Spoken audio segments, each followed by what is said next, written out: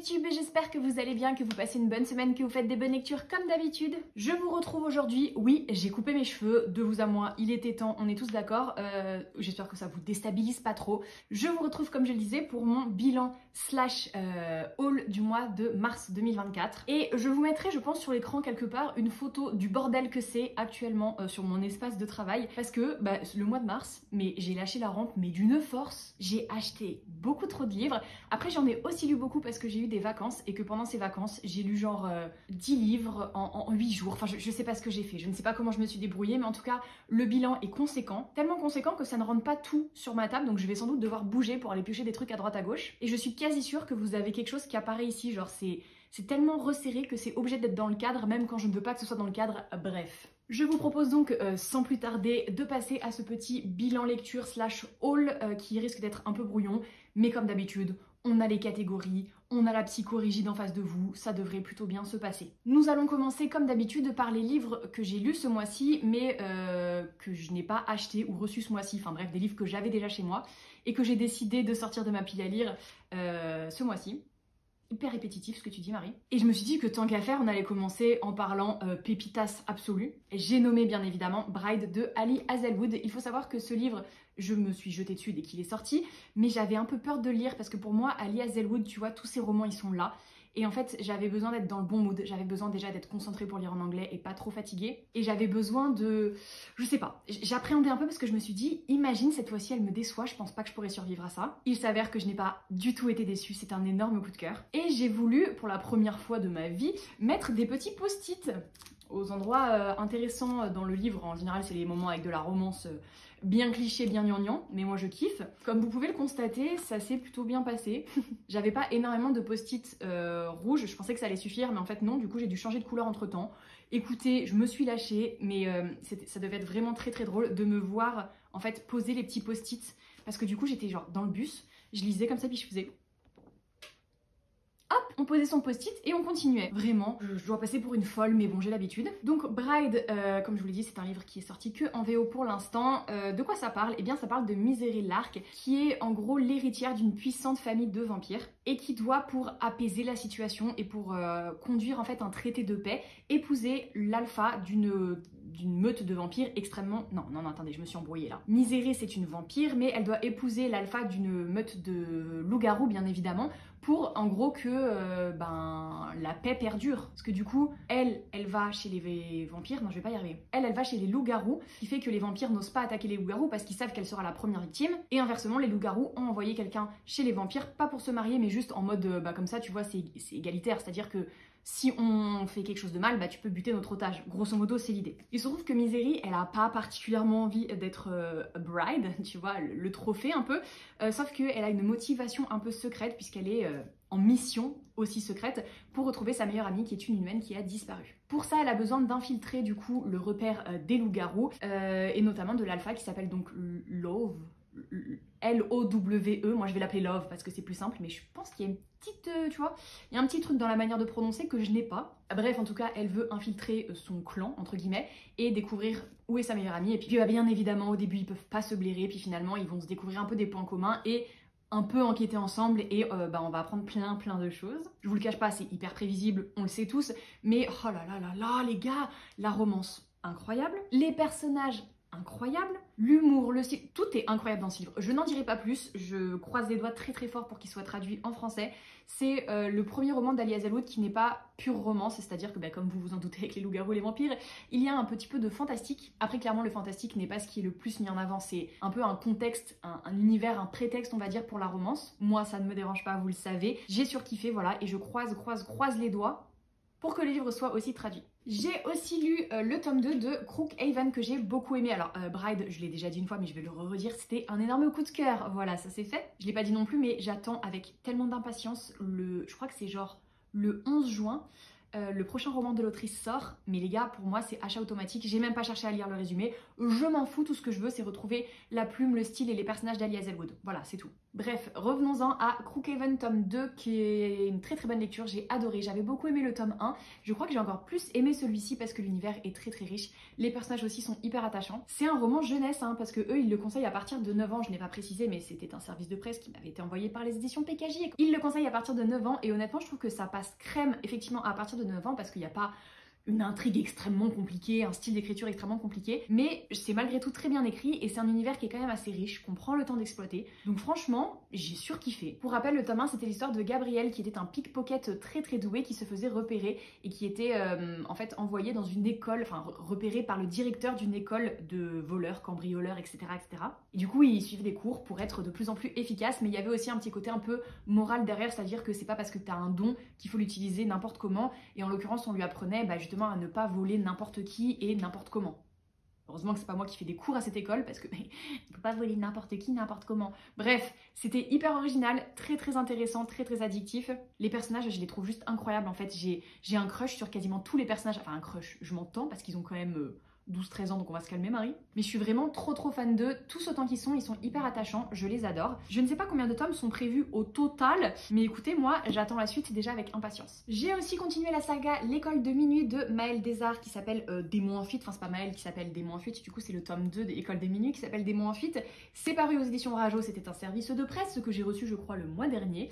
Euh, écoutez, très très cool aussi. Là on est aussi sur une fuite, ça fait 4 fois que je le dis. C'est l'histoire de Siméon qui est un demi-vampire ou juste un vampire d'ailleurs. Non, non, c'est bien un demi-vampire parce qu'en gros, il a hérité des pires trucs des humains et des pires trucs des vampires. Donc en fait, il peut pas sortir au soleil, mais il a zéro force. Enfin, c'est n'importe quoi. C'est un gros boulet, hein, clairement. Et dans le premier tome, il débarquait dans l'école de minuit, qui est l'école qui réunit tous les enfants, en fait, des créatures surnaturelles. C'était un peu compliqué au début, mais il finissait par se faire des amis. Et là, du coup, on le retrouve pour une nouvelle aventure, puisqu'il y a toujours plus de suspense, euh, d'enquête et d'humour, puisque c'est Maëlle Desarts et que c'est incroyable la manière dont elle écrit. Je sais pas pourquoi j'ai fait un geste aussi. Euh, je me suis laissé emporter. Bref, Maël Dessart, toujours euh, qualité, toujours valeur sûre. Pareil, je ne sais pas combien de tomes sont prévus, mais moi je suis là pour ça. Et euh, j'aime beaucoup. Voilà. Pareil, c'est une saga qui peut passer franchement en jeunesse. Euh, il y a des moments un petit peu. bah, c'est des créatures surnaturelles un peu spéciales, donc il y a des moments un petit peu gore. Mais dans l'ensemble, c'est pas trop trash, c'est pas trop compliqué non plus. C'est juste ce qu'il faut pour que tu sois happé, mais pas pour te prendre la tête, tu vois. Donc moi je valide. Ensuite, j'ai lu Ilos de Marion Brunet qui m'a été envoyé par PKJ le mois dernier. C'est l'histoire de. J'ai oublié son prénom. J'ai voulu faire genre, on va pas regarder, mais j'ai oublié. C'est l'histoire de Nolan qui vit à Marseille en 2052 et il faut imaginer que en 2052 c'est la merde totale, c'est-à-dire que montée des eaux, réchauffement climatique, guerre, tout ce que vous voulez, tout ce que vous voulez. Et quand je vous dis montée des eaux, ça veut dire que par exemple, en l'occurrence à Marseille, la moitié de la ville est ensevelie sous l'eau. Nolan, elle, elle fait partie de ces personnes qui sont très très pauvres, mais qui plongent en fait pour récupérer un peu des trésors et des richesses, c'est la même chose, des objets quoi, euh, dans la partie immergée de la ville pour essayer de bah, d'en tirer quelque chose. En fait, en faisant ça et suite à la disparition de son frère, elle va attirer l'attention du commandeur, du commodore, pardon, faisons ça bien, Commodore Norrington, non, rien à voir, ça c'est dans Pirates des Caraïbes. Lui s'appelle juste le Commodore, qui du coup va exploiter ses talents et elle va être forcée un peu de travailler pour lui je sais pas pourquoi j'ai bugué comme ça pour lui. Euh, sauf que ce faisant, elle va rencontrer d'autres personnes, elle va nouer des liens et euh, il y a tout un côté vraiment très engagé. Ah bien sûr, c'est un roman d'anticipation qui est extrêmement glaçant parce qu'on va pas se le cacher. Je sais pas si ce sera en 2052, mais à un moment, un moment ça va partir en couille, on le sait tous, pardon de le dire. Du coup, moi, ce genre de romans, je, les, adore parce qu'ils sont hyper intéressants, ils sont hyper prenants, mais en même temps, ils sont très anxiogènes. Et là, ça l'a vraiment bien fait, c'est-à-dire que c'était tellement bien pensé, tellement bien réaliste, entre guillemets, que bah, du coup, j'ai euh, flippoté, mais c'était vraiment une chouette lecture. J'aime beaucoup le style de Marion Brunet. Et là, c'est le premier tome d'une trilogie et j'ai vraiment hâte de voir où elle va nous mener après parce que c'est un premier tome qui est quand même très introductif, je trouve, et euh, j'ai hâte qu'on puisse continuer à explorer l'univers et surtout les personnages et les liens entre eux. Celui-ci, j'ai été tout en bas de ma pile alors que c'est par lui que j'ai commencé le mois, je vous en avais déjà parlé dans mon précédent bilan lecture, j'avais commencé fin février euh, cette bricasse et je l'ai bien évidemment terminé début mars. C'est la suite de All of Us Villain, c'est donc le tome 2 et dernier tome. On retrouve, écoutez, euh, nos héritiers de famille qui se battent pour contrôler la magie dans un tournoi hyper sanglant et où tous les coups sont permis. Voilà, je n'en dirai pas plus parce que je ne peux bien évidemment pas vous spoiler, mais imaginez un mélange entre, euh, je ne sais pas moi, Hunger Games et euh, Harry Potter. Grosso modo, on va partir sur quelque chose comme ça. Bien écrit, très lent. Je vais pas vous le cacher, vous vous doutez bien que là-dedans, là, il y a des, des passages, j'étais un peu en mode bon, Et si on accélérait? Mais malgré tout, hyper original, très addictif, j'ai beaucoup aimé. Et pour finir, un livre que j'avais acheté il y a déjà, je pense, un petit moment, mais que j'ai lu ce mois-ci, il s'agit de Meet Me at the Lake de Carly Fortune. C'est un livre en anglais, mais qui arrive, si je ne dis pas de bêtises, en juin euh, aux éditions Robert Laffont Canada. C'est la même autrice que tous nos étés, euh, en anglais c'est Every Summer After, que j'avais surkiffé, méga méga coup de cœur pour ce livre dont je vous ai parlé il y a déjà plusieurs mois, que je l'avais lu pendant mes dernières vacances en septembre je crois, je vous mettrai dans la barre de description le lien vers la vidéo où j'en parle un peu plus. Et du coup j'avais trop trop hâte de retrouver le style de cette autrice, mais bien évidemment comme pour Bride, vu que c'est de l'anglais, je voulais être sûre d'être dans le bon mood, d'être suffisamment reposée pour comprendre ce que je disais. Il se trouve que j'ai surkiffé, bien évidemment. Peut-être pas autant que j'ai sur sur sur sur surkiffé euh, Every Summer After, mais celui-ci est aussi incroyable. En fait, on est totalement sur le même esprit, c'est-à-dire des personnages auxquels tu ne peux pas ne pas t'attacher. Grosso modo, c'est l'histoire de Fern qui va rencontrer Will euh, alors qu'elle habite à Toronto, je crois. Ils vont passer la journée ensemble, ils vont énormément se rapprocher. Ils se connaissaient pas avant, hein. ils se rencontrent, ils passent la journée ensemble ils vont se rendre compte qu'ils s'entendent extrêmement bien, qu'il y a une petite étincelle entre eux, mais il se trouve qu'à ce moment de leur vie, ils ont tous les deux des choses un petit peu compliquées qui arrivent, et surtout ils sont tous les deux en couple. Mais vu qu'ils s'entendent très bien, ils se disent, écoute, tu sais quoi, voilà, on a passé une super journée, on est hyper proches, on s'adore, tout ça, tout ça, mais euh, on va s'arrêter là, et on se donne rendez-vous dans exactement un an, au bord du lac, où euh, la famille de Fern a un hôtel. Comme ça, voilà, ils pourront se retrouver, voir où ils en sont dans leur vie, et éventuellement, s'ils sont célibataires, peut-être, euh, voilà, passer au niveau supérieur. Donc un an après, Fern attend logiquement au bord du lac et Will ne vient jamais. Des années et des années encore après, Fern est de retour en fait dans le, domaine familial parce que sa mère vient de mourir et elle lui a légué du coup l'hôtel. Elle, elle doit tout reprendre en main et là, qui c'est qui qui débarque pas?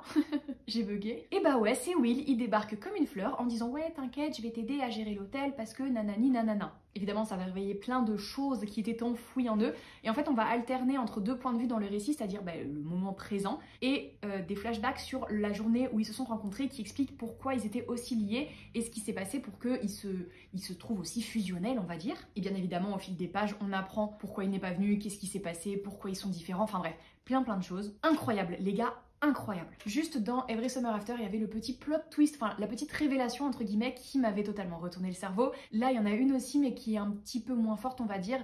Par contre, c'est vrai que c'est toujours aussi touchant, toujours aussi beau, toujours aussi bien écrit. Les personnages, c'est impossible, comme je disais, de ne pas s'attacher à eux. Incroyable, incroyable. Et là, du coup, je crois que c'est en juin aussi, en VO, il y a un nouveau roman de l'autrice qui sort. Encore un truc avec un lac, je crois, ou avec un été. Enfin, je, pense qu'il faudrait qu'elle euh, consulte. Enfin, je le dis gentiment, hein, mais parce que c'est quand même bizarre cette obsession pour les lacs parce qu'il y avait déjà ça dans le premier. Mais bon, bref, c'est un autre sujet. Peut-être qu'elle est sponsorisée par la région du Canada où il y a plein de lacs. Bref, j'ai surkiffé et j'ai trop hâte d'avoir le prochain roman de l'autrice. On passe ensuite aux autres livres que j'ai reçus ce mois-ci. Ouais, je, vais super vite les gars, j'en ai conscience, mais euh, j'ai plus de 50 livres à vous présenter. Je pense qu'on n'est pas là pour tartiner des lentilles. Ce n'est pas l'expression c'est pas grave, continuons. Trier des lentilles ou beurrer des tartines, je crois que c'est ça les deux expressions. Moi j'ai voulu euh, faire un mix. Bref, on va donc passer au livre que j'ai reçu ce mois-ci mais que je n'ai pas encore lu, euh, Shame on Me. Et on va commencer par le moment de la fangirl. J'ai nommé La Swiftie en moi puisque les éditions Antélion m'ont envoyé un petit euh, package euh, spécial Taylor Swift. On a donc un livre qui s'appelle, vraiment, mais là, quand j'ai reçu ça, je me suis dit, Marie, franchement, là, t'as passé un nouveau cap quoi dans la fangirl. Hein. Parce que c'est typiquement le genre de livre euh, que j'achetais quand j'étais ado, vous savez, style One Magazine, avec plein d'infos sur les chanteurs que j'aimais trop et les chanteuses que j'aimais trop. Bref. Celui-ci s'appelle donc Tout ce que vous devez savoir sur Taylor Swift, l'icône d'une génération. Et du coup, à l'intérieur, on a bah, vraiment comme un magazine. Plein, plein d'infos. Donc évidemment, comme d'habitude, c'est classé en mode son enfance, sa carrière, blablabli, blablablou. Après, il y a un petit topo sur ses ex, il y a un petit topo sur ses amis, sur euh, ses albums, ses eras, enfin bref, tous les petits dramas euh, qui font Taylor Swift. Donc je l'ai feuilleté, il est franchement très très sympa. Ensuite, nous avons euh, un carnet de jeux et de coloriage, oui oui messieurs dames, sur Taylor Swift. Donc bah bien sûr, des coloriages, mais il y a majoritairement des coloriages d'ailleurs, non? Attendez, ils sont où les jeux? Ah, ils sont là. Bon, il y a des petits jeux.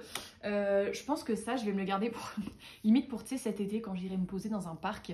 Euh, enfin, je sais pas, je verrai. En tout cas, très sympa aussi. Et euh, last but not least, on a les tenues iconiques de Taylor Swift. Non, mais je vous avais dit que j'avais passé un cap dans la fangirlitude. Hein. Donc là, clairement, nous avons un livre qui explique comment elle est habillée, les inspirations, les marques, enfin tout, en fait, tout. C'est voilà, je, je, ne peux pas justifier pourquoi j'ai envie de ça, pourquoi je suis heureuse de posséder ces livres. Belle en short, non mais vraiment.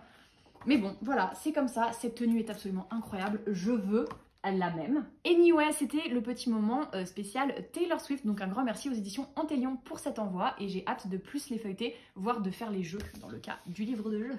Ensuite, j'ai reçu deux romans des éditions Akata pour leur euh, label Young Novel. Il s'agit tout d'abord du Prix du Savoir de Britney Morris qui raconte l'histoire de Alex Rufus qui a 16 ans et euh, je vais vous lire le résumé parce que je ne l'ai pas encore lu, je ne vais pas faire semblant. Euh, Alex Rufus a 16 ans, il cherche toujours à faire de son mieux, il s'efforce d'être un employé modèle, un petit ami parfait et surtout un grand frère protecteur. Pourtant, il fait face à une difficulté de taille, il est sans cesse assailli de visions du futur. Le moindre contact avec un objet suffit à déclencher une prémonition et la pression de connaître les événements à l'avance l'empêche de vivre dans le moment présent. À cause de cet étrange pouvoir, l'adolescent souffre d'anxiété, mais ce n'est rien à côté du choc qu'il subit lorsqu'un flash lui révèle la tombe de son petit frère Isaiah. Dès lors, Alex sait qu'il va perdre un membre de sa famille, comment réagira-t-il? Ça a l'air d'être un roman extrêmement original, mais surtout très très très très très touchant, sachant que j'en avais lu un autre de cette autrice, celui avec les jeux vidéo. I don't remember euh, the Name. Mais il était vraiment chouette, je suis navrée, j'essaierai de faire des petites recherches et si j'y pense, je vous mettrai la couverture du coup par là. Celui-ci a l'air extrêmement beau, extrêmement touchant. Et celui-ci a l'air aussi très touchant mais beaucoup plus léger dans l'ambiance générale on va dire. Ça s'appelle Kiss and Tell de Adib Koram. Là aussi j'avais déjà lu un deux d'ailleurs, deux romans de cet auteur puisque c'est celui qui a écrit Darius le Grand ne va pas bien. Qui était un roman à la fois doux et touchant et important et assez difficile. Et là celui-ci raconte euh, l'histoire de Hunter qui enfant n'aurait jamais pensé qu'il serait célèbre et pourtant le voilà désormais sous les feux des projecteurs au sein du boys band Kiss and Tell. En tant que seul membre gay de son groupe, il a déjà fort à faire pour gérer son image publique puisqu'il doit être un modèle pour les personnes queer, répondre aux exigences de son label qui cherche à lui imposer une manière très prude et formatée d'être gay, et tout ça en assurant d'un point de vue professionnel. Dans un tel contexte, comment se remettre de sa rupture encore récente qui est au centre de toutes les attentions? Pour oublier sa douleur, Hunter tente de se concentrer sur sa carrière, mais il n'est pas indifférent au charme de Kayvan, Kayvan le batteur d'un autre groupe de musique. Combien de temps pourra-t-il résister à la pression? Trop hâte de le découvrir et euh, je, le trouve déjà trop mignon. Je sais pas pourquoi là. Sa petite bouille là, je sens que je vais bien m'attacher et que je vais du coup euh, bien souffrir en même temps que lui. Donc normalement je devrais les lire courant du mois, euh, je vous en reparle très bientôt dans un prochain euh, bilan lecture. J'ai aussi reçu euh, Les Olympes, qui est en fait un livre qui m'a été envoyé par ma maison d'édition, donc moi je ne suis pas éditée chez Albin Michel, mais par PKJ bien évidemment. Et en fait c'est parce que durant le festival du livre de Paris, je vais faire une sorte de conférence, table ronde, enfin je, ne sais pas trop comment on peut appeler ça, avec Carole Trébor qui a justement participé à l'élaboration de ce recueil, qui est en fait un recueil d'histoires. De, en fait c'est huit portraits de sportifs qui se sont battus contre les préjugés et les interdits, puisque vous n'êtes pas sans savoir que nous sommes l'année des Jeux Olympiques et que vous allez en bouffer à toutes les sauces. Donc moi, je vous cache pas que le sport, je trouve ça impressionnant, hein, ceux qui font du sport, etc., surtout à un niveau comme ça. Mais moi, c'est pas ce qui me passionne le plus. C'est juste que là, il y a le côté un peu féministe que j'ai beaucoup aimé. Du coup, j'étais très contente de pouvoir recevoir cet ouvrage déjà pour le lire avant de faire la rencontre avec l'autrice en question. Et euh, bah aussi parce que ça a l'air très intéressant. Donc ça s'appelle Les Olympes, je ne me souviens plus si je vous l'ai dit. Et c'est sorti aux éditions Albin Michel. Pareil, je vous en reparle quand je l'ai lu. Euh, les éditions Gallimard m'ont envoyé Le futur de Naomi Alderman. Je n'ai jamais lu de livre de cette autrice, ou peut-être que si. Oui, c'est ça, j'ai lu Le pouvoir et celui-ci a l'air totalement dans le même style. Pareil, je vous lis le résumé, je vais pas faire semblant. On nous dit donc que la fin des années 2020 approche et entre cybersciences décadentes, intelligence artificielle omniprésente et crise climatique plus qu'alarmante, la Terre continue de dérailler. Bonne ambiance. En même temps, faut être lucide. Seuls les trois plus grands milliardaires du monde restent sereins. Lenk, Zimri et Hélène ont fait fortune dans la Silicon Valley. Et bien que rivaux, ils ont tout prévu ensemble pour survivre si un jour l'humanité venait à s'effondrer. Or, ce jour semble être arrivé. Mais c'est sans compter sur une jeune influenceuse, Lysen, qui mène l'enquête sur les plans secrets des ultra-riches. Alliée à un groupe d'idéalistes aussi exubérants que remontés, elle se met à rêver à un avenir où les technologies serviraient des causes plus nobles que celles de nous isoler, lobotomiser et forcer à consommer toujours plus. Mais comment reprendre le contrôle du futur? Très hâte de découvrir ça, même si effectivement c'est de la littérature un petit peu plus pointue. Qu'est-ce que c'est que ça? Je disais donc que c'est de la littérature un petit peu plus pointue que ce que j'ai l'habitude de lire, mais écoutez, ça m'intrigue énormément et j'ai hâte de le découvrir. On continue, on continue, et non, ce n'est pas fini. Ce mois-ci, de la part des éditions Addictésie, j'ai reçu le Chien et la Foudre qui est donc déjà disponible en librairie. Euh, ça a été écrit par Sam Agaili, Agaili je, ne sais pas comment ça se prononce. C'est le premier roman paru dans la collection Addictésie. Depuis, il y en a un autre dont je vous parlerai un petit peu après parce que celui-ci, je l'ai lu. Mais celui-ci, je n'ai pas encore eu le temps de le découvrir puisque regardez-moi cette bricasse. C'est énorme. C'est énorme. En plus, c'est quand même pas écrit très très gros à l'intérieur. Donc pareil, il faut le temps, l'énergie, la concentration nécessaire. Je vais m'y attaquer bientôt, bien évidemment. Mais de quoi ça parle? Eh bien, le chêne et la foudre, ça parle du royaume de Finskill, qui vit en paix depuis que le premier roi a uni les contrées pour en chasser les magelins, des êtres maléfiques dotés de pouvoirs magiques. Cependant, le danger rôde toujours et au nom du roi, les assassins protègent le peuple de monstres envoyés par ces villes sorciers. Lorsqu'Elisandre, une jeune femme en quête d'aventure, croise le chemin de Kaelen Bratt, l'un des plus puissants assassins du royaume, elle espère trouver en lui le guide qui lui permettra de quitter sa contrée natale. Et si Ellie tombe peu à peu sous le charme de Bratt, ce dernier prend à cœur son rôle de protecteur de cette orpheline qu'il ne peut voir que comme une enfant. Mais bientôt, toutes ses convictions voleront en éclat. Donc c'est aussi pour ça que moi je le fais un peu traîner, je ne vous le cache pas, parce que cette petite phrase là, qu'il ne voit que comme une enfant alors que clairement ça a l'air d'être love interest, voilà, je n'en dirai pas plus.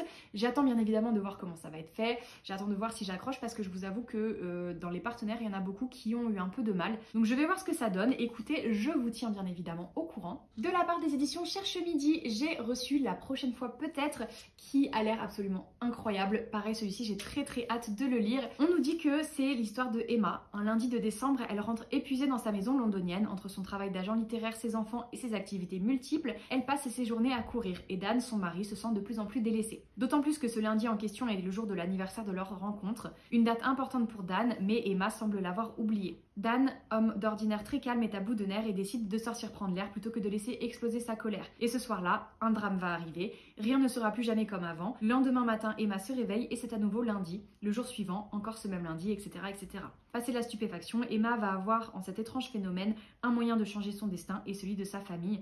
Parviendra-t-elle enfin à devenir qui elle veut être vraiment et à vivre en harmonie avec son mari, la vie qu'il s'était promis? Est-ce que vous sentez le potentiel de chialade? Moi je pense que le potentiel est extrêmement élevé, donc j'ai très très hâte de découvrir ça bien évidemment. Les éditions Ozu m'ont envoyé moi, Oscar et le fantôme de ma sœur. Je crois que celui-ci je vous en ai parlé parce que je l'ai reçu durant un vlog. C'est un livre que j'avais lu dans le cadre du concours du premier roman euh, chez Ozu, donc quand j'étais juriste et en 2022. C'était un roman très très beau qui racontait bah, du coup Oscar qui voyait le fantôme de sa sœur. C'est une histoire extrêmement touchante et très très belle que j'aimerais beaucoup relire. En plus, c'est un roman assez court, mais je me souviens que j'avais beaucoup beaucoup aimé. Donc un grand merci aux éditions Ozu de l'avoir publié et de me l'avoir envoyé. De la part des éditions Dragon d'Or et de l'autrice Solène Merono, j'ai reçu sa duologie Fire on Ice. Donc le premier tome c'est celui-ci. Je ne vous lirai bien évidemment pas le résumé du tome 2 qui vient de sortir. Certaines histoires d'amour ne sont pas éternelles. Jae Young, je ne sais pas prononcer son nom, je suis désolée, brillant étudiant, avait pourtant espéré que la sienne dure infiniment. En emménageant loin des montagnes qui l'ont vu grandir, il tente de se reconstruire après le drame qui l'a anéanti. Mais pourquoi Séoul ne parvient-elle pas à la tirer de sa détresse et à lui faire retrouver la sincérité de son sourire? Un jour pourtant, ce voyage fait d'inattendues rencontres, lui permettra de renouer avec la glace et de tisser des liens avec un ancien patineur qui lui rappellera le sens d'une vie dont il ne voulait plus. Pareil, je pense qu'on est sur un potentiel de chialade assez important. Euh, je ne vois que des bons retours sur cette saga, donc j'ai hâte de découvrir ça. De la part des éditions Fleuve, j'ai reçu le tout dernier Karen Ponte euh, qui est sorti du coup début avril. Je ne l'avais pas particulièrement demandé, mais en plus je l'ai reçu dédicacé, donc écoutez, je suis plutôt contente. J'ai lu plusieurs romans de Karen Ponte que j'ai toujours beaucoup aimé. Celui-ci s'appelle Sur scène et euh, c'est l'histoire de Ginger qui a toujours été une battante dans la vie. Partie de rien, elle a créé avec succès son restaurant et l'a géré de main de maître pendant plus de 10 ans. Quand le cancer a pointé son nez, il n'était donc pas question de se laisser aller, mais ce matin-là, alors que le médecin lui annonce une récidive, Ginger accuse le coup. La soirée piano-bar dans laquelle sa meilleure amie Lola l'entraîne lui fait oublier un instant la mauvaise nouvelle. De retour chez elle nostalgique, Ginger déniche dans un carton de souvenirs une vidéo où elle chante un extrait de comédie musicale. C'était son grand rêve à 15 ans, chanter sur une scène de Broadway. Elle se couche sans trouver le sommeil, elle ne le sait pas encore, mais elle a pris une décision. Au diable les traitements et les médecins, elle veut profiter du temps qui lui reste. Décidément, là, autant de chialades, je sais pas si mon cœur, mon corps, mes yeux vont le supporter, mais écoutez, let's go. Et enfin, dernier livre reçu ce mois-ci que je n'ai pas encore lu, il s'agit de euh, Luminaries, qui est un roman qui m'a été envoyé par les éditions La Martinière Fiction. La couverture, what? J'ai trop craqué dessus, je vous l'avoue. Elle est incroyable, ça a l'air vraiment vraiment chouette. En gros, c'est marqué Nos clans nous définissent plus que nos propres familles. Cette maxime, personne ne la connaît mieux que Winnie Wednesday qui rêve de réintégrer son clan au sein des Luminaries. Depuis la trahison de son père, la jeune fille et ses proches vivent en marge des sept familles chargées de protéger la ville et le reste du monde, des monstres qui peuplent les bois de Hemlock Falls. Pour restaurer l'honneur de son nom, Winnie décide de participer clandestinement aux trois épreuves initiatiques qui pourront faire d'elle une chasseuse luminarie. Mais elle ne pourra pas survivre seule, Winnie demande donc de l'aide au chasseur le plus prometteur de sa génération, Jeff Friday, qui n'est autre que son ex-meilleur ami. Et rapidement, les complices vont découvrir que dans les bois, les monstres ne sont pas toujours ce que l'on croit. Voilà, le ex-meilleur ami, déjà je suis là pour ça. L'univers a l'air extrêmement riche, l'héroïne a l'air très badass. Yes On enchaîne, on enchaîne avec les services de presse reçus ce mois-ci et que j'ai du coup lu dans la foulée, donc mes lectures aussi de ce mois-ci. Tout d'abord, mais ça je vous en avais déjà parlé, euh, j'ai reçu la BD Les Mondes Perdus qui m'a été envoyée par les éditions Dupuis. Je l'ai lu, j'ai beaucoup aimé. C'est très sympa, c'est original, c'est mignon, j'aime bien les dessins. Imaginez Indiana Jones qui rencontre Enola Holmes. Et vous avez cette BD, ça se passe je crois dans les années 1900 et quelques. Oui c'est ça, 1920 et c'est l'histoire d'une jeune fille dont le le père adoptif est euh, anthropologue, explorateur, tout ce que vous voulez. Elle va le convaincre de l'accompagner dans une mission euh, en Amérique du Sud et euh, bah, ils vont rencontrer plein de gens, faire plein de découvertes. Je vous révèle pas tout parce que bah, bien évidemment ça spoil. Mais c'est un premier tome parce que je pense qu'il va y avoir des suites pour continuer à explorer un petit peu ce qu'on a découvert dans celui-ci. C'était donc un premier tome très intéressant que j'ai beaucoup aimé. Ce mois-ci j'ai aussi reçu trois livres de la part des éditions Hugo et je les ai du coup lus tous les trois. D'abord Sergeant Lady Killer de Delphine Audrey qui est au format poche. Euh, qui raconte l'histoire de Kiara qui atterrit à l'aéroport de Jacksonville pour rejoindre son frère Jack qui fait partie des Marines. Et en fait, euh, elle va rencontrer aussi le meilleur ami de son frère qui s'appelle Flint. Flynn, juste Flynn, euh, qui a une réputation justement de euh, Sergeant Lady Killer. Et puis en fait, c'est leur petite histoire d'amour entre euh, secret, entre trahison. Non, peut-être pas trahison, je vais un peu loin. Mais contrariété et tout ça, tout ça. Écoutez, c'était très sympa. J'ai beaucoup aimé la romance, j'ai beaucoup aimé les personnages. Je vous avoue que le côté militaire m'a un peu mis mal à l'aise. Alors là, je sais ce que vous vous dites, mais elle est complètement débile. Si elle aime pas les romances militaires, pourquoi elle en a demandé une en service de presse? Je ne sais pas. Écoutez, des fois, je suis comme ça, je suis un peu teuteux. J'en avais jamais vraiment lu et je voulais voir si ça me plaisait. Et en fait, je, c'est pas c'est bien fait, hein, c'est original, il n'y a rien de, je pense, maladroit ou quoi. C'est juste que je suis un peu rebutée par le côté euh, glamour en fait qu'on donne à tout ça. Genre romantisation de toute cette ambiance ben, de militaire, de violence quand ils partent en campagne, etc. Attention, moi je dis ça, mais c'est pas ce que cherche à faire l'autrice hein, dans son roman. À aucun moment elle dit que c'est génial, ils vont tuer des gens, etc.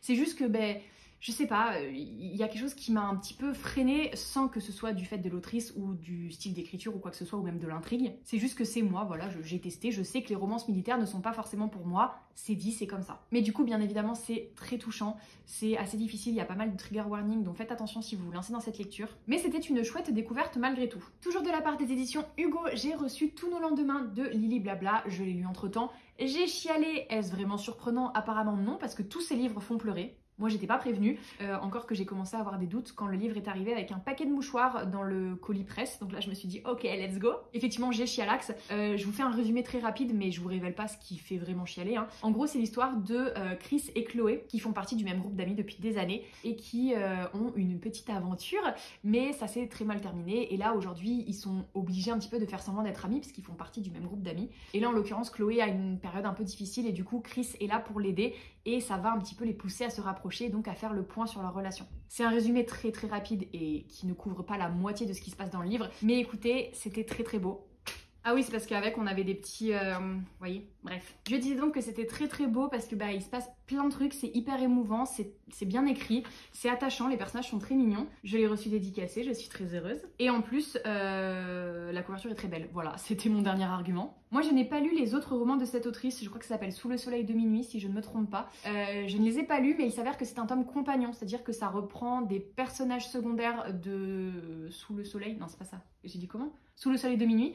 Euh, sous le soleil, c'est pas une série genre sur TF1 ou un truc comme ça. Bref, on s'en fout, c'est pas la question. Euh, mais l'autrice a dit, et moi j'ai tout à fait compris sans avoir lu l'autre saga, que ce n'était donc pas nécessaire de forcément lire tous les soleils de minuit pour comprendre et apprécier celui-ci. Et enfin, last but not least, là aussi, les éditions Hugo m'ont envoyé Un printemps pour te succomber, qui était un des romans que j'attendais le plus euh, ce mois-ci. Vous n'êtes pas sans savoir que du coup, j'ai beaucoup aimé Un automne pour te pardonner, j'ai bien aimé Un hiver pour te résister, et du coup, celui-ci, Un printemps pour te succomber, c'est mon préféré. C'est mon préféré, je l'ai trouvé incroyable. Déjà et majoritairement grâce à Camille. Camille qui est le personnage masculin qui est absolument incroyable. Je l'aime d'amour, vraiment. Genre book boyfriend direct. Et puis bien évidemment il y a Nolia qui est un personnage hyper intéressant. Et toute leur histoire en fait est très belle. Et tous les à côté sont extrêmement touchants. Euh, assez difficile aussi, pareil, il y a des trigger warnings donc renseignez-vous. Ou demandez-moi en commentaire par exemple.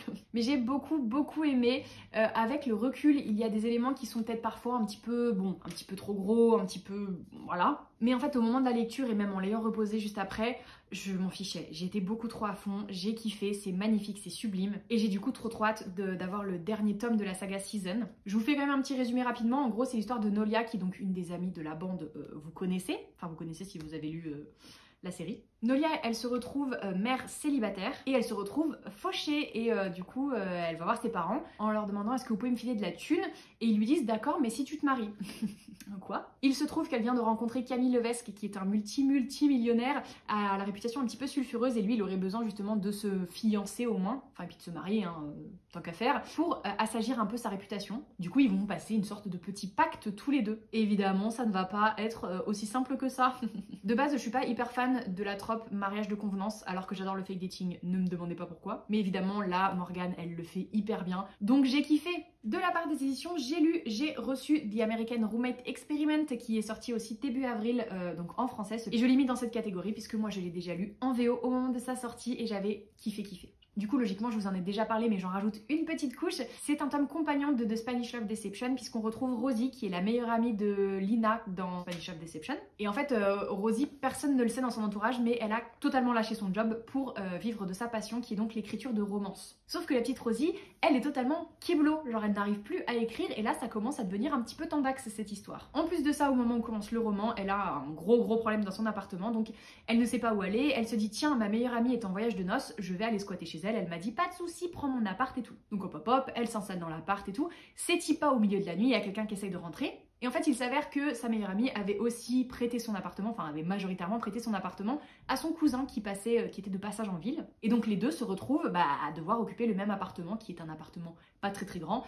Et euh, pour rajouter un petit peu de, tension au-dessus de tout ça, il se trouve que Rosie connaît Lucas, qui est donc le cousin de sa meilleure amie, parce que euh, elle a déjà vu des photos, elle en a déjà entendu parler, et surtout elle avait un énorme crush sur lui. C'est un peu gênant, mais ça donne des situations absolument savoureuses, une, romance en slow burn et pleine de tension que j'ai adoré. Évidemment, il y a du spice, il y a toujours du spice avec Elena Armas, euh, mais j'ai vraiment surkiffé cette histoire. Je pense que je l'ai même autant aimé que Spanish Love Deception, je l'ai mis à peu près au même niveau, franchement incroyable. C'est aussi un beau bébé, hein, donc euh, euh, foncez, foncez.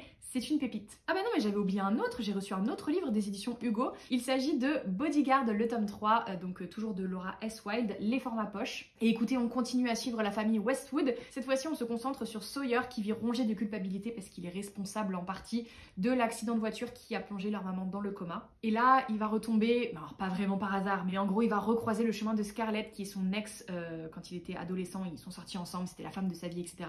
Et elle a disparu totalement sans raison, sans le prévenir ou quoi que ce soit. Ça lui a brisé le cœur et là du coup il doit faire face à plusieurs choses dans sa vie et notamment au retour de cette euh, fameuse ex-petite amie. Encore une fois je ne rentre pas dans les détails mais euh, chaque tome est encore mieux que celui d'avant pour moi dans cette série. Je kiffe, je kiffe, je kiffe. Et du coup il m'en reste un que j'attends avec impatience puisque c'est le tome sur Jackson qui est du coup un ami de la famille euh, et vu les tropes que ça annonce et vu comment on nous le présente dans les romans d'avant, je sens que je vais kiffer. Donc je crois qu'il sort ce mois-ci ou le mois prochain, je ne sais plus, mais j'ai trop hâte de le découvrir.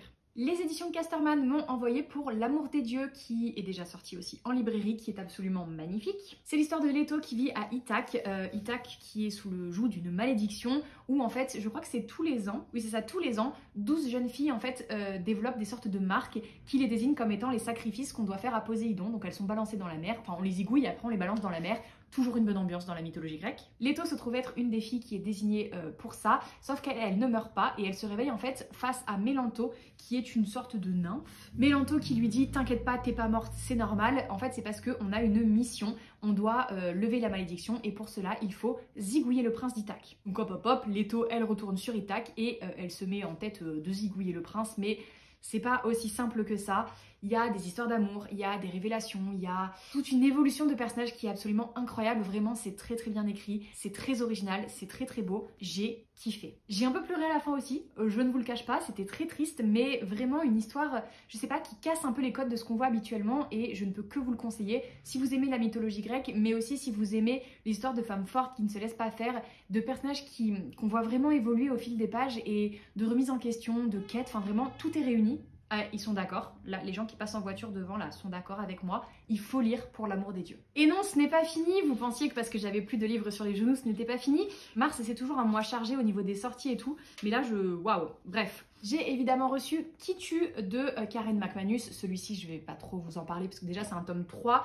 Ensuite parce que je vous en ai un petit peu parlé quand même dans mon vlog puisque je suis allée à un événement pour rencontrer cette autrice. Je vous mettrai dans la barre de description le lien vers le vlog. Mais en plus du coup j'ai pu le faire à dédicacer. Je suis très contente. Donc j'avais reçu celui-ci en service de presse des éditions Nathan et dans le même package il y avait bien évidemment la version poche de Se taire ou mourir qui est un service de presse envoyé par PKJ. Celui-ci je l'avais lu il y a déjà un petit moment. J'avais aussi beaucoup aimé, c'est l'histoire de euh, Echo Ridge qui est une petite ville digne des cartes postales sauf que euh, il y a euh, en fait des filles qui ont disparu juste après leur balle de promo et euh, qu'on n'a jamais revu. Enfin, on pense que, tu vois. Là, il y a justement un bal de promo qui s'annonce et on se demande si, eh bien écoutez, si tout ne va pas recommencer.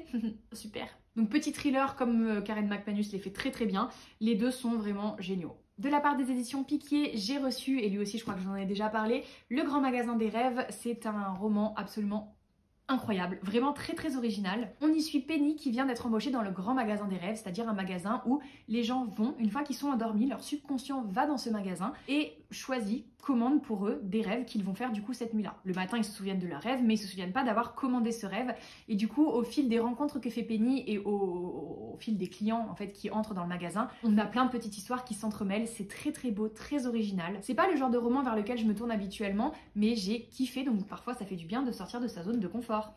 les éditions Michel Lafon m'ont envoyé les épreuves de la Reine Soleil, qui est le premier tome euh, d'une romantaisie que j'ai trouvé, écoutez, très originale, vraiment, vraiment intéressante, mais peut-être le premier tome un peu trop introductif et un peu trop brouillon sur certains points. Je suis assez curieuse de lire la suite parce que je pense qu'il y a énormément de potentiel et euh, de ce que ça nous annonce en fait, en tout cas vers la fin du tome 1, je pense que ça peut me plaire. Et c'est vrai que le premier tome était sympa mais sans plus quoi. En gros, c'est l'histoire de Laure qui euh, est emprisonnée depuis des années et qui va être euh, kidnappée par l'émissaire d'un pays très mystérieux où elle est traînée de force et où on lui explique qu'elle doit participer à une, série d'épreuves en fait pour éventuellement devenir la prochaine reine soleil. Donc il n'y a que des filles de bonne famille qui participent, hein, parce que c'est l'objectif c'est de devenir reine, mais euh, c'est la tradition en fait de sortir quelqu'un de nulle part et de donner une chance euh, à la populace quoi. Donc elle, elle se dit bah ok, j'ai qu'à gagner, comme ça je deviens reine et je ne retourne pas en prison. Sauf que bien évidemment ce n'est pas aussi simple que ça, petite Laure. Après il s'avère que Laure a plus d'un tour dans son sac, et puis il y a aussi une histoire avec euh, son pays d'origine et l'héritier du royaume euh, de son pays d'origine. je commence à fatiguer, mes phrases n'ont plus aucun sens, on adore. Bref, en tout cas on nous introduit déjà pas mal de personnages dans ce premier tome et j'ai hâte de voir comment ils vont évoluer. Je serai comme je vous le disais très curieuse de lire la suite. Toujours de la part des éditions Michel Lafon, j'ai reçu L'homme de la situation de Lucy Score. Euh, rappelez-vous, Lucy Score, c'est celle qui a écrit Ces choses qu'on cache, ces choses qu'on laisse et ces choses, je ne sais plus. Enfin, vous savez, la, trilogie très jolie, qui est une trilogie de romance avec euh, beaucoup de smut. et c'est surtout la trilogie que je ne sais pas pourquoi j'ai autant aimé parce que euh, c'était des mecs bien machos, bien possessifs, voilà. Tout ce que je déteste habituellement, mais là je ne sais pas pourquoi j'ai kiffé. Donc j'attendais avec impatience celui-ci parce que je me suis dit, yeah, ça va être la même chose. Et en fait, j'ai été un chouille déçu, je ne vous le cache pas. C'est l'histoire de Ganan qui est la star de l'émission euh, Les Rois de l'immobilier. Il est sexy, arrogant et adore faire de la vie de Paige un enfer. Paige c'est la productrice de l'émission et en fait on les suit euh, de mission en mission pour l'émission. ça commence à faire beaucoup de missions. On suit un petit peu leur taquinerie, on suit les moments où ils s'affrontent, les moments où personne ne veut baisser les bras, etc. Euh, et puis on suit leur rapprochement tout simplement. Mais ça m'a pas particulièrement happé, transcendé, j'ai trouvé que ça faisait un peu décousu. leur relation elle est jolie mais elle est pas particulièrement... Enfin, en fait, au moment où on commence l'histoire, ils se connaissent déjà depuis plusieurs euh, mois, même un an, je crois. Du coup, j'ai envie de dire, mais pourquoi à ce moment-là Enfin, on nous explique pourquoi à ce moment-là il y a le déclic, mais je, je, sais pas, j'ai pas été transcendée par ce livre. Dommage parce que, comme vous en doutez, j'en attendais quand même euh, pas mal, mais peut-être que c'est à cause de ça aussi que j'ai été un peu déçue. C'est-à-dire que j'en attendais trop, voilà. C'est sympa, ça se lit tout seul, la romance est mignonne, mais pour moi ce n'était pas transcendant, malheureusement on peut pas tout aimer. Cela aussi je vous en ai déjà parlé euh, dans mon vlog je crois, puisque je les avais reçus au moment du vlog. Reçu et lu du coup les Whisper Week, le labyrinthe sans fin de Jordan Lees qui m'a été envoyé par les éditions Ozu. J'ai reçu les deux versions, donc la version euh, reliée collector euh, très très belle, et la version brochée beaucoup plus classique mais tout aussi belle. Et les Whisper Week, de quoi ça parle? Eh bien ça parle de Benjamia qui, totalement par hasard, va passer dans un autre monde, le monde de Dédale où euh, la ville entière est un dédale, logiquement. Donc un immense labyrinthe et euh, le monde a des particularités assez, assez spécifiques et lui en fait il essaie de rentrer chez lui mais il va pas y arriver. Il va se retrouver à faire équipe avec Elisabella qui euh, a perdu son frère et qui essaye donc euh, de le retrouver. Alors je dis perdu son frère dans le labyrinthe, tu vois, t'as compris, elle sait pas où il est, enfin bref, c'est plus compliqué que ça bien évidemment, mais il va devoir faire équipe avec elle et là encore, il y a plein de choses qui vont venir se mettre sur leur chemin, ils vont apprendre plein de choses sur eux, sur leur famille, sur ce dont ils sont capables et c'est vraiment vraiment chouette, genre c'est un univers euh, à la fois très jeunesse parce qu'il y a, y a des codes classiques de la jeunesse et en même temps c'est très original, c'est très bien écrit, très bien mené. Et vu que c'est une saga qui est prévue en plusieurs tomes, je pense qu'il y a le potentiel digne des sagas style Percy Jackson, Harry Potter, euh, vous connaissez quoi. Donc j'ai beaucoup aimé ce premier tome qui est bourré d'action, de rebondissements et tout ce qu'il faut. Et je serai du coup logiquement très très curieuse de lire la suite, qui n'est pas encore euh, sortie en fait. Euh, je crois qu'elle a même pas encore été écrite en VO. Mais sachez que c'est un roman qui va, je pense, beaucoup faire parler de lui sur les réseaux. pas forcément que francophone d'ailleurs, parce qu'en fait quand il est sorti en Angleterre, il a fait le buzz de ouf. Et je crois qu'il y a eu plus de 30 pays qui ont racheté les droits immédiatement, ce qui est quand même extrêmement rare dans le cas d'un premier roman. Donc je ne suis évidemment pas la seule à voir le potentiel euh, de cette saga et j'ai hâte de la suivre. J'ai reçu aussi le deuxième livre de la collection Addictésie, donc c'est envoyé par les éditions Addictésie logiquement. Ça s'appelle Mienne sera la nuit de Léonore Larc euh, et c'est une histoire de vampire que j'ai beaucoup aimé. Écoutez, quand je l'ai commencé, je me suis dit... Hmm, et en fait, plus j'avançais, plus j'étais à fond, donc j'ai kiffé, vraiment. C'est l'histoire de Grimm, qui est une reine vampire, on appelle ça une reine rouge, euh, qui a été en fait maudite par un coven de sorcières et qui du coup a passé plus de deux siècles endormie. Sauf que là, elle est libérée par Alasdair, qui est euh, bah, un des membres de ce coven, sauf qu'en fait, lui, c'est un garçon et euh, les garçons n'ont pas de pouvoir dans les coven. Donc il, essaie de faire ses preuves et en fait il fait que des conneries, notamment euh, réveiller une de leurs plus puissantes ennemies. Il se trouve qu'exactement au même moment il y a un serial killer qui sévit euh, autour d'eux et du coup Grimm va en fait aider le coven à découvrir ce qui se passe et qui est responsable. Et du coup, à la fois Alasdair et Grimm ont envie de faire leurs preuves et de montrer que bah ils peuvent faire une équipe euh, qui s'en sort pas trop mal. Sauf que tout prend des proportions absolument incroyables et ça peut en fait mettre en péril tout l'avenir du monde. Donc là, on a des secrets de famille, des rebondissements, des trahisons à gogo. On a beaucoup d'action, on a un univers qui est très original et on a une romance, les gars comme ça la romance. Et ce que j'ai particulièrement aimé, c'est que euh, bah déjà, comme je vous l'ai dit, c'est original, mais surtout j'ai trouvé ça très très bien écrit. Il y a des passages entiers qui sont extrêmement poétiques sans que ce soit trop poétique. Tu vois, c'est pile ce qu'il faut pour que tu te dises waouh, c'est bien écrit, mais pas que tu te dises bon, c'est bon, je me fais chier. Bref, franchement, j'ai kiffé, donc je ne peux que vous recommander ce livre qui est sorti euh, fin mars aux éditions Addictésie, comme je vous le disais. Ah oui, et il y a un peu de smut, euh, mais pas tant que ça. Moi, j'avais peur, je pensais qu'il y en aurait beaucoup plus, donc j'étais un peu inquiète. Et en fait, non, il y a une scène par-ci par-là. Je crois qu'il y a deux scènes en tout. Euh, mais c'est surtout la tension entre les personnages et l'importance de la romance dans l'univers fantasy qui fait que c'est une romantaisie. J'ai aussi reçu et du coup lu pendant mes vacances Magie et Sentiment. Le premier tome s'appelle Les secrets de Langdon de Ariel Holtz qui sort du coup courant du mois d'avril, euh, juste un petit peu après cette vidéo, je pense. Euh, aux éditions Slalom. Là j'ai reçu une épreuve non corrigée donc il est, tout simple mais il sortira aussi en version reliée trop trop belle, incroyable. Et écoutez j'ai kiffé. Comme souvent avec cet auteur, euh, le début était un peu lent. Enfin il y a des passages un peu lents en fait dans le livre parce que l'univers qui nous construit est tellement original et tellement prenant que t'as besoin en fait d'arrêter à certains moments l'intrigue et de t'expliquer ce qui se passe ou comment fonctionne l'univers etc. Donc ça ralentit un petit peu le rythme général mais c'est aussi gage de qualité parce que c'est extrêmement original comme je vous le disais. En gros c'est l'histoire de la Terre et de la Lune à l'époque victorienne il y a une sorte de réécriture de l'histoire de l'Europe, puisqu'on imagine que pendant la guerre des Deux Roses, les perdants, en fait, au lieu d'être squeak quick, sont partis s'installer sur la Lune, et depuis la Terre et la Lune n'ont plus aucun contact. Sauf que là, la situation politique évolue un petit peu, donc là, on est en 1855, et il y a un mariage qui est prévu entre un héritier euh, de la Lune et une fille d'une bonne famille de la Terre. Donc en fait, on suit les deux familles quand elles se rencontrent, on suit les enjeux politiques, on suit les enjeux euh, sentimentaux. Il y a des histoires de magie, euh, des, luttes de pouvoir. Franchement, c'est incroyablement bien fait. J'ai surkiffé, franchement j'ai frôlé le coup de cœur et euh, je vous ai dit tout à l'heure c'est un premier tome, je n'en sais rien, ça peut très bien s'arrêter là, mais vu qu'il y a un sous-titre, j'espère trop qu'il va avoir une suite parce que je serais trop heureuse de pouvoir retrouver les personnages, l'univers et le style de cet auteur. Donc j'ai kiffé, je recommande. Et enfin il reste deux livres que j'ai reçus et du coup lus ce mois-ci mais je ne les ai plus parce que je les ai laissés chez mes parents parce que je vous avoue que quand je suis rentrée de vacances ma valise elle était blindax et du coup je me suis libérée de quelques livres soit parce que ben, je les récupérerai la prochaine fois, soit parce que je veux que ma maman les lise et c'est le cas notamment pour la dernière allumette de Marie Vareille. Là aussi je vous avais montré l'unboxing parce que c'était pendant le vlog mais j'avais reçu un colis trop trop joli et j'avais méga hâte de lire euh, ce roman puisque je suis très très fan de Marie Vareille. Et vous savez quoi je vais même pas tenter de vous faire un résumé, euh, juste sachez qu'en fait c'est une histoire de famille c'est une histoire de rencontre, c'est une histoire de personnages qu'on voit évoluer et il y a comme toujours un plot twist, un retournement de situation, des, personnages qui sont extrêmement bien construits. C'est juste incroyable. Vraiment, là, je peux pas dire autre chose que Marie Varey l'a encore fait. Genre, she did it again. Elle a réussi à me happer, à me transporter. J'ai surkiffé. Franchement, ces trois derniers romans, voire ces quatre derniers romans, c'est tous des coups de cœur. C'est incroyable comme ils sont prenants et, bien écrits et, parfaits. Voilà, c'est tout. Et le deuxième livre que j'ai laissé chez mes parents, ça s'appelle This Book Kills et ça sort, je crois, courant du mois aux éditions PKJ. C'est une, enquête en fait, puisque c'est l'histoire d'une jeune fille dont j'ai oublié le prénom, Jess, enfin elle s'appelle Jess Minder, je crois, qui est dans un pensionnat extrêmement élitiste. Elle, elle est boursière, donc elle a un peu du mal à trouver sa place. Et en fait, elle rend un devoir où elle décrit en quelque sorte euh, un crime, comment on pourrait réaliser un crime, puisque c'est pour une dissertation un peu étrange. Ça pourrait s'arrêter là, sauf que quelques jours après, un des élèves du lycée est retrouvé mort. Et en fait, c'est exactement la même technique que Jess a montré dans sa dissertation.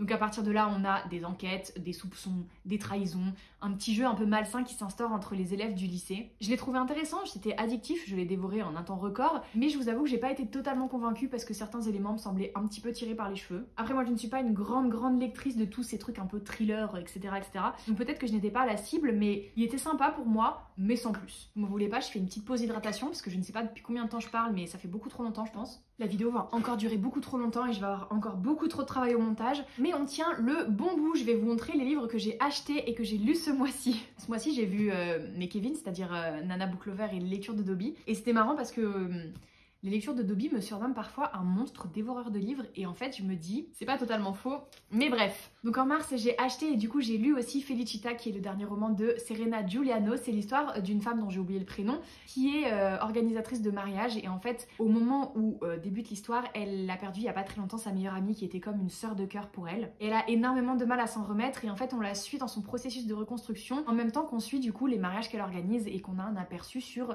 la vie des gens qui la fréquentent et qui l'entourent. C'était très drôle, c'était très beau, c'est du Serena Giuliano typique. C'est pas mon préféré de cette autrice, mais il était très efficace et très très sympa. Ce mois-ci, j'avais aussi acheté euh, la balade funèbre de Art et Merci de Megan Bannen, euh, qui est sortie aux éditions Milady, et euh, j'avais craqué bien évidemment. Alors sur le pitch, bien sûr, mais aussi sur cette édition que je trouve absolument incroyable. Et c'est un roman qui est assez original, c'est un petit ovni pour moi. En fait, quand tu lis le résumé, tu te dis what the fuck? C'est l'histoire de Art qui euh, est en fait un ranger, c'est-à-dire que dans le monde où ils vivent, il y a un moment une porte qui s'est ouverte vers un autre monde. Et de ce monde s'échappent parfois des sortes de créatures surnaturelles qui peuvent euh, posséder les morts. Voilà, donc en fait ils tuent des gens, comme ça les petits esprits hop rentrent dans les corps et après bah, ils sont comme ça, tu vois, c'est des zombies quoi. Et lui son rôle c'est de s'assurer que les esprits ne s'échappent pas, qu'il n'y ait pas de zombies et que euh, bah, les morts restent morts en gros. Donc ça c'est son taf euh, et il est très très doué pour faire son taf. Le seul truc où il est un petit peu moins doué c'est pour sociabiliser, notamment avec Mercy qui elle euh, tient bah, un funérarium en fait où elle s'occupe des corps et notamment elle les brûle pour s'assurer que bah, personne ne va retourner posséder l'esprit tu vois, le corps. Ouais, c'est hyper dur à résumer, je le fais très très mal, j'en ai conscience, mais en gros, on suit ces deux personnages qui ont chacun un rôle très important dans la société. On suit ben, leurs problèmes, leurs tracas, etc. On suit leur relation qui est extrêmement compliquée parce qu'en fait, ils se détestent. Ils ne savent pas pourquoi, mais ils se détestent. Jusqu'au moment où Art, euh, qui se sent vraiment seul parce qu'il a une vie bah, très solitaire, écrit une lettre sans mettre de destinataire particulier. en fait, cette lettre arrive dans les mains de Mercy et ils vont commencer à, échanger comme ça sans savoir qu'ils parlent l'un à l'autre. C'est-à-dire que par lettre, ils s'apprécient et euh, ils, deviennent presque meilleurs amis, alors que euh, quand ils se voient en vrai, ça s'envoie des insultes et des taquets dans la gueule, quoi. Donc ça c'est le postulat de base, je ne rentre pas plus dans le détail, je pense que c'était suffisamment brouillon comme ça. Mais juste incroyable, vraiment coup de cœur, j'ai adoré. Je suis à deux doigts de vous faire euh, un épisode de 1 livre en 5 minutes juste sur ce livre, parce qu'il y aurait tellement de choses à dire et je pense que je peux mieux l'expliquer que ce que je vous ai fait là. Mais vraiment c'était oufissime, déjà c'est très bien écrit, c'est hyper original, l'univers j'ai fait que l'effleurer là pour vous le présenter, mais j'avais jamais vu ça. Et la romance légale, la romance Truc de ouf, mais vraiment truc de ouf. Art, je l'épouse quand il veut. Quand il veut. Merci, mais c'est une queen absolue. Les personnages secondaires sont hyper intéressants aussi. Enfin, vraiment, j'ai tout kiffé tout kiffé. Donc gros gros coup de cœur, je vous le conseille à 1000%. Pareil, il y a un peu de smut, des scènes un petit peu plus longues, un petit peu plus détaillées certes, mais euh, finalement c'est pas grand chose euh, quand tu fais le ratio. Et juste c'est incroyable, donc lisez, lisez ce livre. Ce mois-ci j'ai aussi acheté bien évidemment The Blood Traitor qui est le troisième tome de la saga Prison Healer de Lynette Noni euh, c'est paru aux éditions Hachette. Dès qu'il est sorti en librairie, je me suis jetée dessus, je l'ai acheté directement. Et j'ai pas trop tardé à le lire parce que j'avais eu un énorme coup de cœur pour les deux premiers tomes de la saga. Euh, je vais pas vous résumer celui-ci bien évidemment, sachez juste que c'est un coup de cœur aussi J'ai eu beaucoup de bonnes bonnes lectures ce mois-ci et j'étais trop contente euh, que celui-ci ne me déçoive pas parce que comme je vous disais, j'avais adoré les deux premiers tomes et là, je pense qu'il est même encore mieux parce que tu l'aboutissement de plein de choses. C'est beaucoup plus profond, c'est beaucoup plus les personnages, vraiment, ils m'ont tellement ému et je les kiffe tellement tous. J'ai, voilà, gros coup de cœur. Pour rappel, et là c'est que le tome 1, euh, c'est l'histoire de Kiva qui est emprisonnée depuis des années et des années à Zalindov, qui est une prison absolument horrible d'où personne ne ressort jamais vivant et où en général tu tiens genre 6 mois, 1 an grand max quoi. Et elle, en fait, elle a tenu pendant des années puisqu'elle est la guérisseuse officielle de la prison et du coup, ça lui confère un statut un peu particulier. Jusqu'au jour où euh, il y a coup sur coup un prisonnier un peu mystérieux qui arrive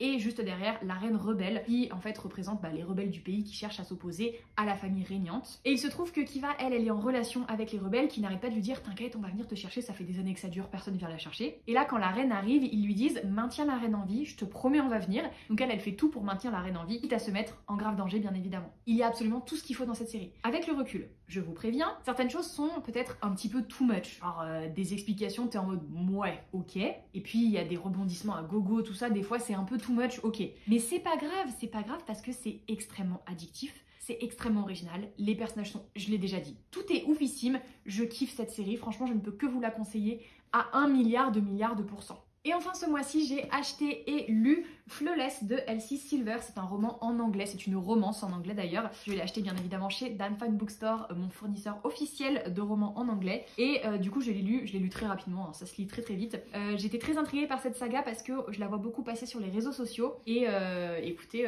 j'ai pas été déçue. Le début était un peu compliqué, j'ai trouvé que c'était pas forcément très très bien amené. les personnages au début, bon voilà. Et puis à partir de la deuxième moitié, vraiment j'ai commencé à bien m'attacher à eux, à vraiment être dans l'ambiance. J'ai kiffé. C'est l'histoire. Alors attention, c'est un truc un petit peu euh, what the fuck quand t'habites en France euh, et que t'as pas la famille avec la culture des États-Unis. C'est l'histoire d'un mec qui fait du rodéo, professionnellement, je veux dire. C'est son gagne-pain, le mec qui fait des rodéos pour gagner sa vie. Extrêmement doué, le pélo, et du coup très très riche, mais aussi euh, petit problème de comportement, notamment avec ses sponsors. Et du coup, son, son agent le force à avoir une sorte de babysitter qui se trouve être la fille de l'agent. Et elle est là pour contrôler qu'il fait pas de bêtises. J'ai pas besoin d'en dire plus, hein, évidemment. l'agent lui a bien dit Tu touches pas à ma fille, l'autre il est là, oui, t'inquiète. Évidemment, voilà. Donc oui, c'est bien cliché, oui, c'est extrêmement prévisible, mais la deuxième partie est vraiment beaucoup plus, bah, beaucoup plus prenante. Il y a des petites révélations qui font que j'étais en mode « mais non !» et beaucoup plus d'émotions que ce que je pensais, donc franchement, j'ai kiffé. Euh, je crois que ça arrive en français bientôt chez BMR, si je dis pas de bêtises. Et moi, de mon côté, je vais me procurer la suite euh, en anglais, je pense, parce que ça se lit très bien en anglais. Euh, je crois qu'il même qu'il y a un tome, enfin je sais qu'il y a un tome sur un joueur de hockey, parce que en fait, il y a plusieurs frères dans le, groupe, et euh, un de leurs amis est joueur de hockey je sais qu'il a son tome sur lui avec sa petite romance sur lui donc euh, let's go Voilà, ça c'était les livres que j'ai achetés et que j'ai lus. Euh, sachez que ce mois-ci on m'a aussi offert un livre puisque comme je vous disais j'ai passé du temps avec mes Kevin qui sont venus à Lyon et qui m'ont offert un livre. J'étais trop trop contente, regardez comme il est beau. Tadam magnifique. Ça s'appelle Une nuit infinie de Elliot euh, et ça a été publié aux éditions Rivka. Je suis méga fan de la couverture et des couleurs. Mais attendez, c'est pas tout. Po, po, po, regarde-moi ça. C'est de toute beauté. C'est de toute beauté et je vous lis juste le résumé comme ça parce que moi c'est ça qui m'a intrigué. Bon, déjà là c'est marqué deux garçons seuls dans l'espace, une mission ça m'a envoyé des vibes à la euh, Aurora Squad ou Illuminae, donc j'étais à fond. Et c'est marqué Aimer au-delà du possible. Lorsqu'Ambrose se réveille à bord du Coordinated Endeavour, il n'a aucun souvenir du décollage, ni de cet autre astronaute avec qui il fonce à travers l'espace. Que lui est-il arrivé? Et que lui cache OS, le système d'exploitation du vaisseau? Ça a l'air beaucoup trop bien. Vraiment hâte de découvrir celui-ci. Et enfin, et c'est là où j'ai lâché la rampe, on passe au livre que j'ai acheté et que j'ai pas encore lu. Je, peux pas l'expliquer les gars, je, suis navrée. Cher banquier, si tu passes par ici, pardon, parce que là, vraiment, je, je comprends pas. Bon, après, la majorité, je les ai achetés avec une carte cadeau Cultura. Donc techniquement, ça compte pas vraiment, euh, bancairement parlant, je veux dire. Par contre, au niveau de la palle, ça compte bien. Et là, je suis en PLS. Et elle aussi, elle est en PLS je vous dirais bien, j'ai eu un mois compliqué, mais j'ai que des mois compliqués en fait. Donc je peux pas acheter autant de livres à chaque fois que j'ai un mois compliqué. Ce n'est pas possible, Marie. À un moment, il va falloir se contrôler. Mais il faut dire aussi qu'il y avait beaucoup de belles sorties ce mois-ci, donc c'était dur de se contrôler. Bref, qu'est-ce que j'ai acheté ce mois-ci? Eh bien, j'ai acheté Les 7 saints sans visage qui est sorti aux éditions de Saxus. Là, je vais pas faire semblant, hein, je vais vous lire les résumés. Dans la ville d'Ombrazia, les disciples bénis par les saints vivent dans l'opulence, tandis que les défavorisés dépourvus de magie vivent dans la pauvreté et sont envoyés au front. Rose, pourtant bénie par patience, refuse cette injustice. Emplie de haine depuis l'assassinat de son père, elle est prête à tout pour démanteler ce système corrompu. Tout juste nommé chef de la sécurité au Palazzo par son père, Damian est censé être impitoyable et servir les saints avec une dévotion indéfectible. Mais il est en réalité brisé par les années passées à se battre dans une guerre sans fin, il doit faire ses preuves afin de prouver sa valeur. Lorsque des bénis et des défavorisés sont retrouvés assassinés, Damian et Rose sont forcés de faire équipe pour démasquer le meurtrier. Pourront-ils sauver la ville d'un mal qui menace de tout détruire sur son passage alors que les saints eux-mêmes se mettent à trembler? Je ne sais pas pourquoi ça m'envoie d'aussi bonnes vibes, mais j'ai trop hâte de le découvrir. Je, je sais plus parler là les gars. Je pense que ça fait une heure et demie que je tourne cette vidéo, donc je suis, désolée, je, voilà. très professionnel. Ensuite, j'ai acheté plusieurs livres en anglais, toujours chez Dan Fine Bookstore. Le premier, c'est A Tempest of Tea de euh, Faisal, je crois que ça se dit comme ça. Il va sortir euh, tout bientôt aux éditions de Saxus, si je ne me trompe pas. Et euh, bon là le résumé est en anglais donc il euh, va falloir que je le traduise en direct live avec mon niveau de fatigue. Après une heure et demie de vidéo je pense que ça va donner quelque chose d'assez sympa. En gros c'est marqué Artie Casimir est un criminal mastermind et collecte les secrets. Son salon de thé très prestigieux se transforme en, en gros en repère, pour, en repère illégal pour les vampires puisque en fait elle leur fournit du sang au lieu de, du thé. Parce que bon les vampires en général ils préfèrent le sang quand même. Mais apparemment le secret de, sa, de son salon de thé vampirique pourrait être mis en danger et du coup elle va mener un gang de hors-la-loi dans un, dans, un casse euh, dans le, dans le sous-monde des vampires. Non, ça veut rien dire, Marie, ce que t'as dit. Dans le monde souterrain des vampires pour euh, bah, assurer que, que tout va bien pour son salon de thé. Après, c'est marqué que même quand les romances inattendues éclosent, Artie réalise que même dans son équipe un petit peu de, bras cassés, euh, tout le monde n'est pas de, son côté et elle se retrouve au milieu d'une conspiration qui peut bien menacer l'entièreté de son monde. voilà, je je sais pas quoi vous dire de plus, écoutez, ça a l'air très sympa. C'est pas un trop trop gros livre, je ne sais pas si c'est un tome 1 ou si euh, c'est un one shot, mais en tout cas, hâte de le découvrir. Peut-être que je le lirai avant sa sortie en VO, mais je ne me fais pas beaucoup d'illusions sur le sujet. je me suis aussi procuré A Study in Drawing de euh, Avarid, qui a l'air d'être un peu spécial. Les retours disent que c'est assez spécial, mais que c'était quand même très très bien. En gros, on m'a dit si tu as aimé Divine Rivals, vous-même vous savez, j'ai surkiffé Divine Rivals. D'ailleurs, on a enfin une date de sortie. Ça arrive, je crois, en mai ou en juin chez De Saxus. Victoire. Euh, bref, on m'a dit si tu as aimé Divine Rivals, tu vas aimer celui-ci, donc je me suis dit allons-y.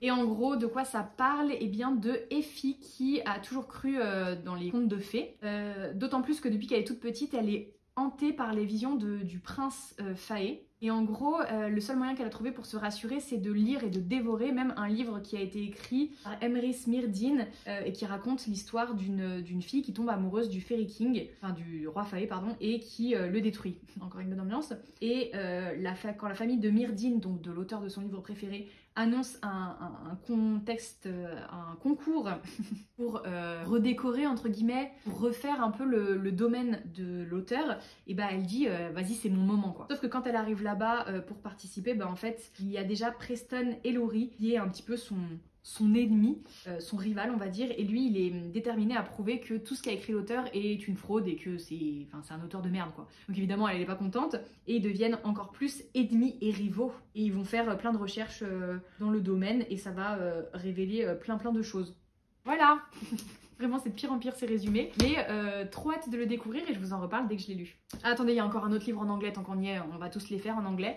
Euh, pas du tout la même ambiance. Ah là, ça s'appelle The Flat de Bess O'Larry. Euh, je crois que ça a été traduit en français, mais j'ai un doute, les gars. en gros, c'est l'histoire de euh, Léon et Tiffy qui, en fait, occupent le même appartement. Lui, il l'a la journée, pendant qu'elle, elle est au travail. Et après, lui, je ne sais pas où il est le soir, mais en tout cas, c'est elle qui dort dans l'appartement. Et ils se sont jamais rencontrés. Sauf que, bah, leurs amis leur disent Non, mais attendez, c'est très bizarre cette histoire, qui est totalement vraie. Et puis, bah, apparemment, là, il va se passer plein de choses qui font que bah, la colocation est plus compliquée qu'il n'y paraît. Enfin, non, elle est aussi compliquée qu'il n'y paraît, on va dire. Écoutez, moi je sais pas. Euh, tout le monde dit que cette autrice est vraiment bien. Euh, j'avais envie de tester, j'en ai un autre dans ma palle d'ailleurs en français, j'aurais peut-être dû commencer par lui. Mais lui il était là, j'étais là, je l'ai acheté. Voilà, c'est comme ça. Celui-ci, bah, c'est pareil, j'étais obligée de l'acheter. Alors vous voyez pas parce que le choix de couleur est assez particulier, euh, mais il s'agit de L'héritier insoumis qui est donc le troisième livre dans la saga Le pont des tempêtes. Donc il ressemble à ça. Et si je vous enlève ça, vous avez donc les protagonistes. Et là, c'est comme ça. Et à l'intérieur, c'est la carte du monde du coup. Donc je n'ai pas besoin de vous re, re, re, redire mon amour infini pour le pont des tempêtes, le 1 et le 2, énorme coup de cœur, Lara et Arène, je vous aime. Et là en fait c'est, euh, alors c'est le tome 3 officiellement, sauf qu'en fait c'est sur d'autres personnages et ça se passe dans la même temporalité que le tome 2. On suit en fait ce qui se passe mais d'un point de vue de deux autres personnages. Je pense que ça va être intéressant, c'est pas forcément ce que j'aurais préféré, j'aurais préféré retrouver Lara et Aren, je ne vous le cache pas, mais why not? Euh, Hâte de voir ce que ça va donner. Durant mon week-end avec mes Kevin, j'ai acheté euh, d'occasion celui-ci, je l'ai trouvé à Gibert, je me suis dit allons-y, la couverture est sympa, ça faisait un petit moment que je l'avais repéré. Il est sorti il y a très longtemps je pense. Ça s'appelle Silence de Dylan Farrow et le résumé dit que dans ce monde, les mots peuvent tuer. Voilà bien des années, la mort indigo, la maladie de l'encre, a fait de très nombreuses victimes. Depuis, l'écriture est interdite et tous ceux qui sont surpris à colporter des histoires sont sévèrement punis. Dans leur citadelle de la maison haute, les bardes caste aristocratiques au pouvoir immense veillent implacablement au respect de la loi. Shae mène une existence solitaire dans son village natal depuis que son frère a été emporté par la mort indigo. Sa mère et elle sont traitées en paria. La jeune fille se sent différente des adolescentes de son âge et observe un étrange don s'enraciner en elle sans pouvoir en parler à personne. Mais le jour où elle retrouve sa mère assassinée, Shae ne peut plus se taire. Prête à tout, elle part en quête de vérité sans se douter que son initiation ne fait que commencer. Parviendra-t-elle à briser le silence? J'ai vu quasi zéro retour sur ce livre, mais écoutez, on va tenter, hein Enfin, on va tenter. Probablement pas avant plusieurs années, mais maintenant il est dans ma pile à lire, quoi. Il va patienter. Je me suis aussi acheté Anatomie de Dana Schwartz qui est sorti aux éditions Albert Michel. Pareil, ça fait un petit moment que c'est sorti. En fait, lui, je l'avais repéré au moment de sa sortie justement. Je m'étais dit ouais, ça a l'air vraiment cool. Je l'ai pas acheté, je l'ai fait traîner. Là, on est peut-être deux ans après. Je me dis, il me tente toujours allons-y. À un moment, faut craquer. Hein. Le meilleur moyen de résister à la tentation, c'est d'y céder. Je crois que c'est une citation d'Oscar Wilde. Moi, je dis let's go Oscar. Donc là, le résumé dit qu'on est à Édimbourg en 1817. Férue d'anatomie, Hazel n'a qu'un rêve, devenir chirurgienne. Mais cette passion n'est pas du goût de sa noble famille. Jack, lui, déterre les cadavres qu'il vend aux scientifiques pour essayer de survivre dans cette ville où il est trop facile de mourir. Il n'était pas fait pour se rencontrer, mais lorsqu'Hazel demande à Jack de lui procurer des corps pour étudier, il accepte. Je pense que ça va être très intéressant. J'ai vu pour le coup de bons retours sur cette saga. Euh, dans le style un peu Dark Academia, un peu lent, mais une ambiance assez prenante et pesante, donc euh, on va voir. Après, on se fait une petite session romance. Tout d'abord, j'ai acheté Campus Baby, mais là vraiment, des fois je me dis, faudrait, je pense qu'il faudrait me confisquer ma carte bancaire, enfin en l'occurrence ma carte cadeau Cultura, parce que je, je sais pas, je, je peux pas l'expliquer. Je veux dire, tout crie cliché à mort dans ce livre, et moi je me suis dit, allons-y. Donc allons-y, écoutez. Hein. Euh, le résumé dit qu'est-ce qui est pire que d'être complètement ignoré par Ryder Kingston, le quarterback le plus populaire et le plus dragueur de l'université, après avoir passé une nuit avec lui? Réponse vivre en face de sa colocation et voir défiler ses conquêtes. Enfin, ça, c'est ce que je pensais jusqu'au jour où quelqu'un a abandonné son bébé devant la porte de la fraternité avec un petit mot expliquant que le père était l'un des sportifs résidents. Le problème, personne ne sait lequel de ces crétins est l'heureux élu. En temps normal, je ne me serais pas mêlé de leurs affaires, mais étant donné que mon frère vit avec eux, il y a une chance pour que ce petit bout de chou soit ma nièce et il est hors de question que je la laisse entre les mains de ces stupides joueurs de football. Ils ont besoin de mon aide même s'ils n'en ont pas encore conscience. Et une fois que nous aurons trouvé le père de l'enfant, je m'en irai. D'ici là, il va juste falloir que j'ignore les regards brûlants que Ryder ne cesse de me lancer à chaque fois que je viens m'occuper du bébé. J'ai lâché la rampe moi avec les romances les gars. Parce qu'en plus je viens de voir que sur 4 niveaux de flamme on était au niveau 3. À mon avis ça annonce du smut, du smut, du smut. Je sais pas pourquoi j'ai fait ça. Je sais pas pourquoi j'ai fait ça. En plus je suis quasi sûre que euh, ouais il fait 450 pages. Je vais lire hyper vite. Je sais pas, écoutez, voilà c'est pareil, c'est acheté, c'est acheté. On va lire et puis on verra. Après j'ai fait une petite euh, session craquage euh, des romans de Mia Sheridan puisque le mois dernier, rappelez-vous, j'ai lu Kyland que j'ai surkiffé, genre vraiment gros coup de cœur. Je l'ai lu en deux heures, impossible de m'arrêter, euh, j'ai fini avec les yeux comme ça et au boulot le lendemain j'étais pas très fraîche, mais j'ai kiffé et j'ai adoré son style d'écriture, bien dans le pathos, bien dans l'émotion, tu vois. Donc je me suis dit, eh, tant qu'à faire, on va prendre les autres qui sont du coup sortis en poche. Donc celui dont on m'a le plus parlé c'est bien évidemment Archer's Voice, euh, qui raconte l'histoire de Brie Prescott qui arrive dans la petite ville du Maine. Elle espère y trouver la paix qu'elle recherche désespérément, elle est là pour oublier le traumatisme qu'elle a subi dans sa ville natale et recommencer une nouvelle vie. Mais à peine installée dans sa maison près du lac, elle va croiser Archer Hall, un homme solitaire et mystérieux qui cache au fond de lui une profonde souffrance, un homme que personne ne voit, un homme sans voix. J'en sais pas plus, mais allons-y, tout le monde dit que c'est incroyable. Et du coup, j'ai aussi pris Travis, qui apparemment est le frère de Archer. C'est marqué Travis a tout pour lui, un rôle important de chef de la police, un physique qui fait tomber les femmes à ses pieds, une famille qui lui a pardonné une série de décisions malheureuses prises des années auparavant. Son passé peut être criblé de regrets, mais son avenir semble brillant et sans limite, jusqu'à ce qu'il croise le chemin de Haven, une séduisante californienne venue passer l'été dans la région avec son frère. Ils vont découvrir ensemble que parfois il faut tout perdre pour trouver exactement ce dont on a besoin. Chialada vue.